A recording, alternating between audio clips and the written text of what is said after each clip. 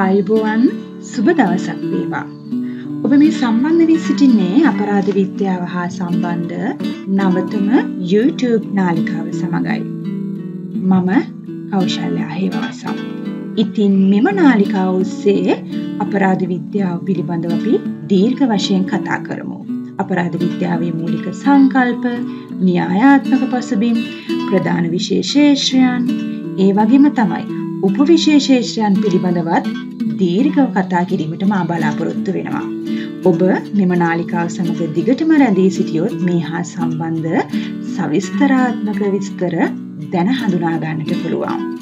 අපරාධ විද්‍යාව කියන මොකක්ද. මේ හා සම්බන්ධයෙන් මූලික හැඳුන්වීමක් අද මම මේ වීඩියෝ තුළින් කතා කිරීමට බලාපොරොත්තු වෙනවා. විශේෂයෙන්ම අපරාධ විද්‍යාව හදාරන අපි මොන වගේ ශේෂ්‍ර කෙරේ අවධානය යොමු කරනවාද කියන කාරණය පිළිබඳව දැන් කතා කරමු. විශේෂයෙන්ම අපරාධ විද්‍යාව හා සම්බන්ධ අධ්‍යනය කරන අපට මූලික කරුණු කිහිපයක් ඔස්සේ මෙම විශේෂේෂය පිළිබඳව අධ්‍යනය කරන්නට පුළුවන්.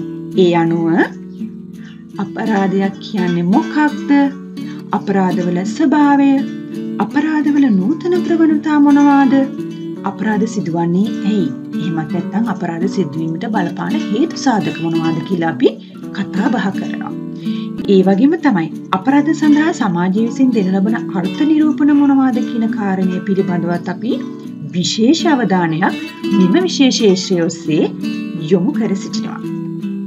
තව දුරටත් අපරාධ සඳහා සමාජය විසින් ලබා දෙන ප්‍රතිචාර කුමනාකාරයෙන් වේද යන කාරණය පිළිබඳව අපරාධ විද්‍යාවේදී අපි හඳුනා ගැනීමට උත්සාහ ගන්නවා. ඉතින් මෙන්න මේ කියන ශේෂ්‍ර හරහා ගොුණුවිච්ච විෂය පරිපතයක් තමයි අපරාධ විද්‍යාව තුළින් අපි හැදෑරීමට උත්සාහ කරන්නේ. මේ සම්බන්ධයෙන් මම තවදුරටත් කෙටි විස්තරයක් ඔබට ඉදිරිපත් කරන්නම්. මූලික වශයෙන්ම අප ජීවත්වන සමාජයේ සිදුවන අපරාධ මොනවාද ඒවැයි නූතන ප්‍රවණතා මොනවාද ඒවා සිදුවීද ඇති ආකාර මොනවාද කියනදේ පිළිබඳව අපි අපරාධ විද්‍යාවෙන් හඳුනා ගන්නවා. විශේෂයෙන්ම වාර්තාවන අපරාධ මොනවාද සහ වාර්තා නොවන අපරාධ මොනවාද කියන දේ පිළිබඳවත් කතා බහ කරනවා. මේ හා සම්බන්ධයෙන් දීර්ඝ විස්තර අපරාධ විද්‍යාවේදී අපි හඳුනා ගැනීමට උත්සාහ කරනවා. ඒ වගේම තමයි මිනිසුන් අපරාධ සිදු කරන්නේ ඇයි. මේ සම්බන්ධයෙන් විවිධ අපරාධ විද්‍යාඥයින් විවිධ මතවාදයන් ඉදිරිපත් කර සිටිනවා. විශේෂයෙන්ම අපරාධ සිදුකිරීම සඳහා බලපාන ජීව විද්‍යාත්මක හේතු සාධක මනෝ විද්‍යාත්මක හේතු සාධක ඒ වගේම තමයි සමාජ විද්‍යාත්මක හේතු සාධක කෙරේත් අපි අවධානය යොමු කරනවා. සාමාන්‍යයෙන් අපරාධ සිදුකිරීම සඳහා බලපවත්නා වූ ජීව විද්‍යාත්මක සාධක විවිධාකාරයෙන් හඳුනාගන්නට පුළුවන්.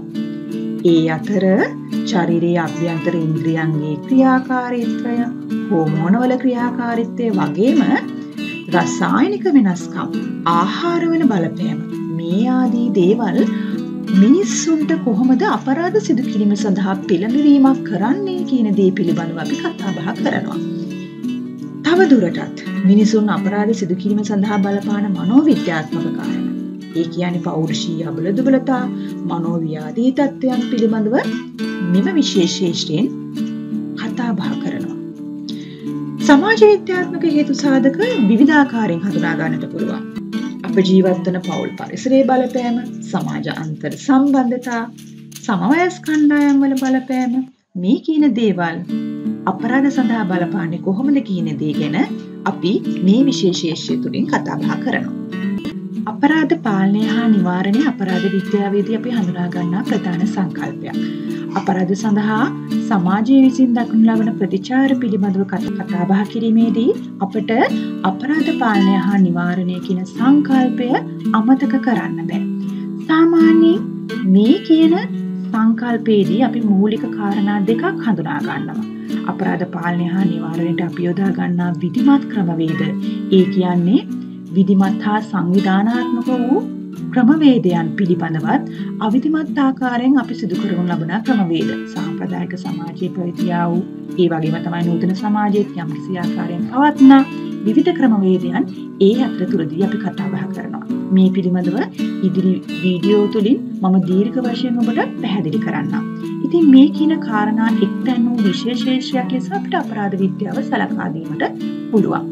සාමාන්‍යයෙන් අපරාධ විද්‍යාව අපරාධවල ස්වභාවය, ඒවායේ අන්තර්ගතය, අපරාධවලට බලපාන හේතු සාධක, අපරාධ පාලනය හා වළක්වාලීම උදෙසා ගනු ලබන ක්‍රියාමාර්ග මේ කියන කරුණු මුල් කොටගත් විද්‍යානුකූලව අධ්‍යයනය කරන විශේෂේෂයක් ලෙස හඳුනා ගන්නට පුළුවන්.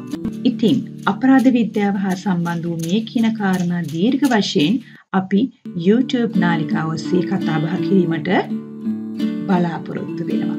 ඔබ දිගටම මේ YouTube නාලිකාව සමග සම්බන්ධ වුණොත් මේ හා සම්බන්ධ සියලු කාරණා ඉතාමත් සරලව දැන හඳුනා ගන්නට පුළුවන්.